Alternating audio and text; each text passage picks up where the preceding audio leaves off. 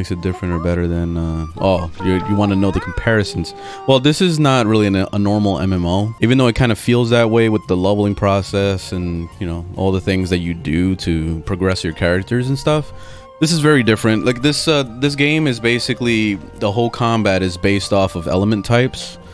So your your whole build circles around the four characters that you build together. So let's say for example this is an electric girl right here. This one's fire. Uh, she's water. You know, it's like it's it's almost like playing Avatar the game. So having these elements work together is what makes the the attacks work better on the enemies. So like let's say turn to Barbara, wet the enemy, and you'll see like a wet symbol on their head. Then from there, burn their asses and you vaporize them. You know, like it, it does like extra damage for that. And then uh, you'll have element monsters that are like, let's say, like a fire monster. You can't use the fire people that you have because they do pretty much no damage. Sometimes it'll just say immune. So you can't even attack them at all with those characters. So it basically turns these characters useless. And then you only have, let's say, Barbara and the electric person. So that's why it's good to diversify your team to, to work that way. So that, that's what makes this game special and makes this game a little bit more engaging with you know the characters that you build and all that. When it comes to the actual world and the story and all that shit it's it's a lot like what you would see in breath of the wild. So it's a lot of exploration and trying to find um, treasure chests and and you know it's just like it, it gives you this big sandbox world to kind of just explore and find things and fish and mine stuff. And it's just it's really nice. It's really satisfying the way they set that all up the story is really strong and they're really well written. So it's not like a typical Asian game where they have poor translations that are really fucking horrible. In this game, they actually tried. They actually hired a good amount of like people to translate and and make the stories more like you know westernized or whatever. So it's it's really it's really well done. Like the story is really good. This this is one of the few games that I could I could say that I I did a storyline and it made me almost cry like multiple times like not even just once. Like the Venti storyline was really good. That almost made me cry.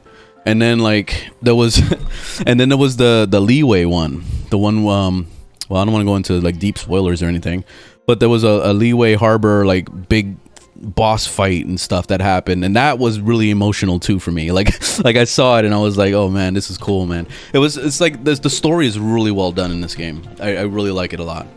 So um, that's that's like one of the major gripping points of this game you know compared to new world and final fantasy 14 i don't really know about final fantasy 14 story but New World story was horrible, so basically you could just write that one off completely. Another thing I forgot to mention is the soundtrack. They went all out with the music in this game. It's unbelievable. Easily one of the best soundtracks in all of gaming because they really poured a lot of heart and soul into this with the orchestras and just in general. Like you could be just walking around a regular part of a zone and you'll start to like remember some of the jingles in there. It, it reminds me a lot of like the really old school games like Zelda Ocarina of Time and like some of the, the Mario games in the past. And you know, 007 GoldenEye, the pause menu. How I used to, uh, that shit was just a huge banger. And those are the type of things that you would hear in Genshin that, that would just make you go like, wow, I just want to sit here and just listen to the music.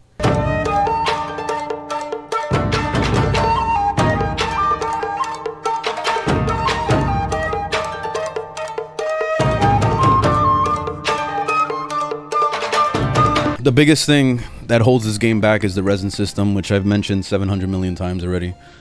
The resin system is the thing that's basically like a stamina system. Kind of like what they use in like uh, mobile games, which this game is also a mobile game. You can play it on your cell phone, which I do all the time. And that's the coolest thing about this game is that like, you know, if I'm get tired of playing on my PC, I could go and like just lay in bed and play on my, my cell phone. It's pretty badass. So um, it's cool to have that option. But they went too much in the side of mobile and um, they added the stamina system that required like it's required for you to level up the characters to advance them to get new gear and all that shit. Everything is tied to the resin system. So it just it, it kind of ruins things man. It makes it makes it really miserable when you start getting into late late game. In the beginning when you first start playing it's not a big deal but then it starts getting worse and worse as it as you progress. Especially the more characters you collect the worse it gets. So like this should have scaled. Like the resin system should have scaled in some way to make it a um work with every character that you have. I, I feel like every time a character is, is earned, it should up the rate on which uh, resin is like acquired or something, or maybe even like if they had like extra ways to obtain resin. Let's say like I don't know, kill mobs or something, or do some side quests, and then the side quest gives you resin almost like they did in uh, Black Desert Online, because Black Desert Online had that, where you could uh little side quests and stuff, and then they'll give you like energy every time you beat the quest. Like that's cool. Like at least they gave you a chance to get their version of resin back. But in this game, they don't. You just have to wait till the next day, basically, until you can do it do it some more.